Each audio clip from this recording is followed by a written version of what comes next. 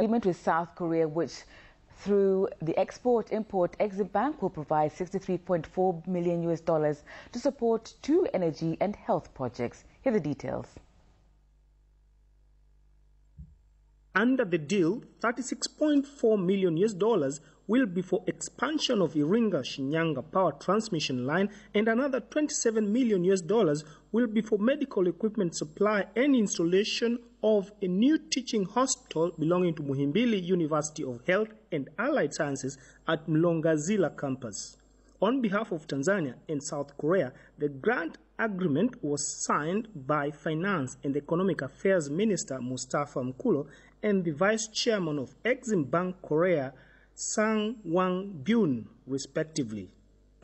The Korea government recently signed additional commitment of EDCF loan of $140 million to Tanzania.